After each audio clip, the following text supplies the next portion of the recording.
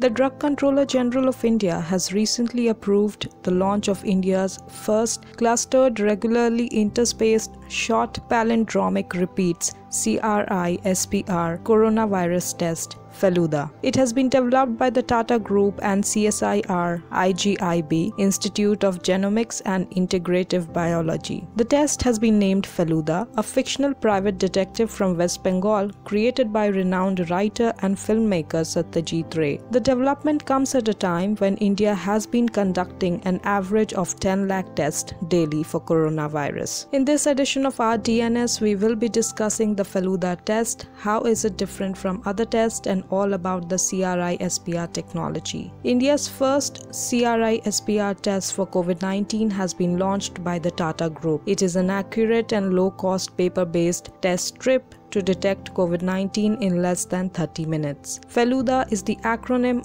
for FNCAS9 editor linked uniform detection assay uses indigenously developed CRISPR gene editing technology to identify and target the genetic material of SARS CoV 2, the virus that causes COVID 19. Feluda is the world's first diagnostic test to deploy a specially adapted Cas9 protein to successfully detect the virus. This test uses an indigenously developed cutting edge CRISPR technology for detection of the genomic sequence of SARS-CoV-2 virus. CRISPR is a genome editing technology for diagnosing diseases. CRISPR, short form for clustered regularly interspaced short palindromic repeats, it is a gene editing technology and finds its use in correcting genetic defects treating and preventing the spread of diseases. The CRISPR technology can detect specific sequence of DNA within a gene and uses an enzyme functioning as molecular scissors to snip it. It also allows researchers to easily alter DNA sequences and modify gene function. Furthermore, the technology can also be configured for detection of multiple other pathogens in the future. This test